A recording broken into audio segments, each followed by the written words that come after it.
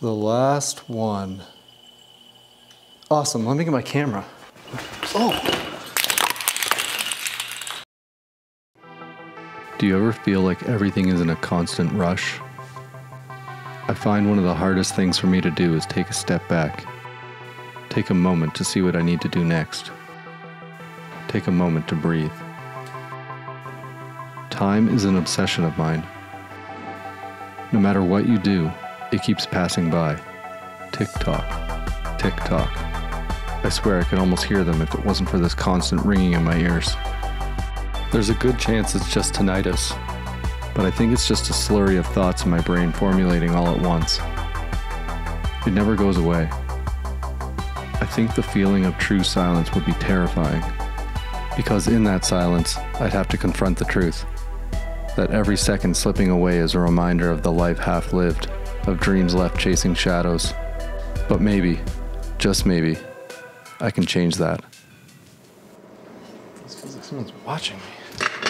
Anyway, I've always been a fan of those magnetic levitation projects. It's such a fascinating concept. And there's a few ways to do it, and one is slightly more complicated than the other. The First way, the complicated way, is to take a permanent magnet, another permanent magnet, and then inside you have electromagnets. An electromagnet is just a magnet you can control with current. This one pulls it in, and then you take the electromagnets and you repel. This is the more complicated way, but it allows you to levitate it vertically. This takes way more components. I'm not doing it that way. The way I'm doing it is, again, you take a permanent magnet, neodymium, electromagnet. Gravity is going to pull this magnet down, and this one is going to pull it up.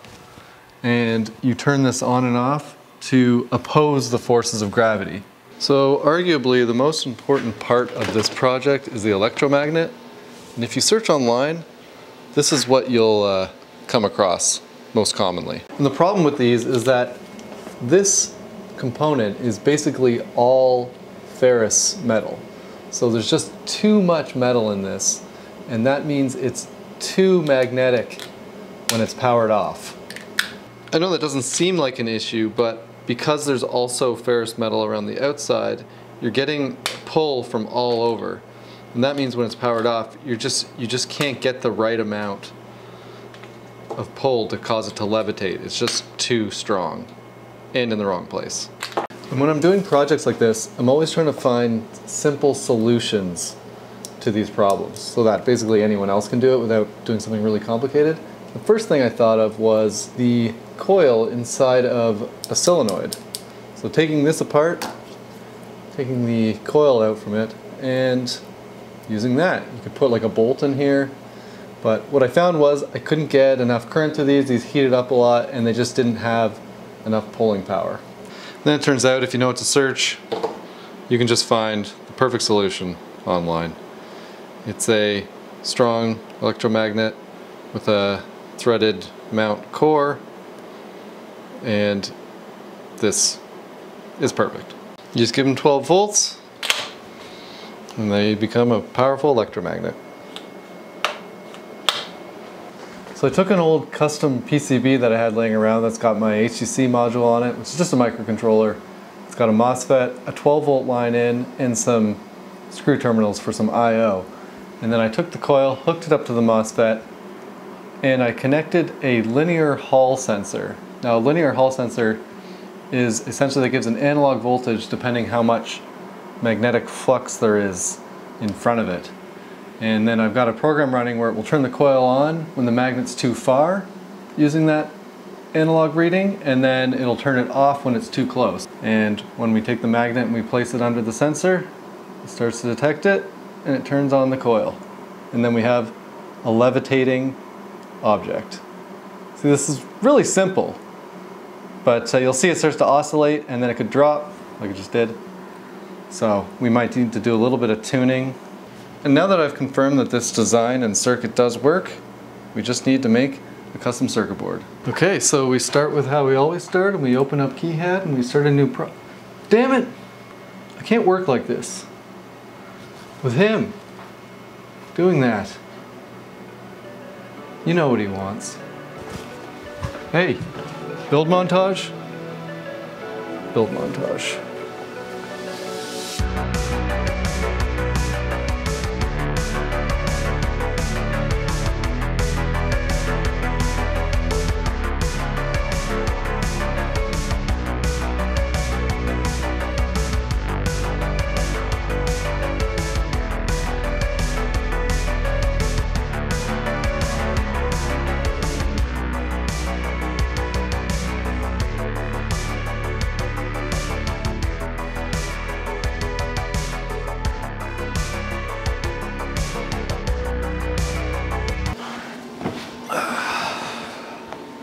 You did some really great work today.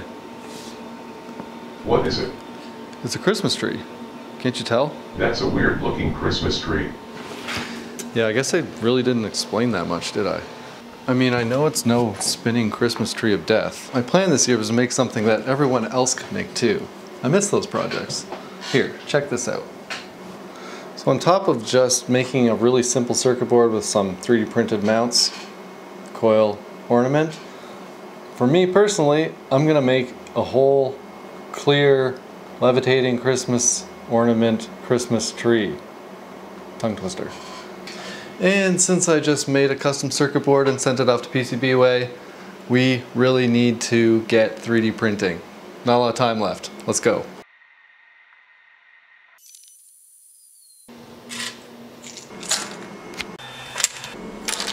All right, we got a small problem. So we got all the components, all the parts we need, everything, except one thing's missing. Uh, the circuit boards. Yeah, they're not here yet. We're absolutely running out of time. They're sitting in a box somewhere. They shipped a long time ago. We can't do anything because everything connects to those. Everything. So here's what I'm thinking. I have like a whole bin of these Adafruit Trinket M0s and couple, not enough, but some of these proto boards that I could get by tomorrow. So the plan is take these and these and build them all by hand. At least some of them.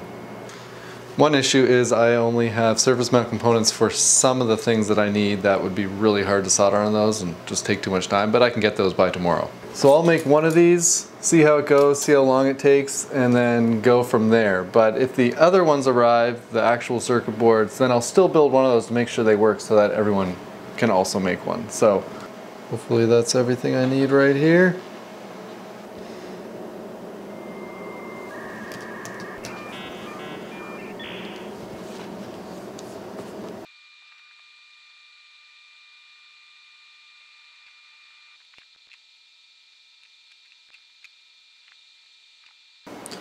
All right, here it is. I really don't want to make 15 more of these, but I will if I have to. Adafruit Trinket M0.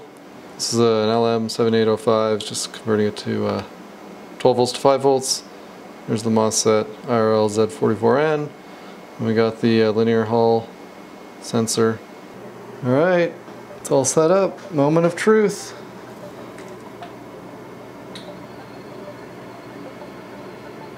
Works! Works better than expected. All right, 15 more to go. Making one of something is always a challenge, but making 16 of that same thing, that's a whole other animal. You're no longer creating a singular object, you're creating a process. You have to plan ahead, look for bottlenecks, figure out where to improve, what to skip, make sure every step is necessary. You become your own assembly line. One small mistake has a cascading effect, trips you up later. I can get caught up in the seconds. Every extra second something takes you to do, multiply it by how many of that thing you need to make. It adds up. So focus, buckle down, get into the zone, do whatever it takes, and before you know it, the last one. It's awesome. Too bad it'll totally burn your actual Christmas tree down though. You. Damn right me. I only needed one of these. This guy went and made what? 15 of them? What a loser. All right, let's get out of here. Wasted too much time already. This'll do, I guess. It's not the custom boards like I requested, but whatever.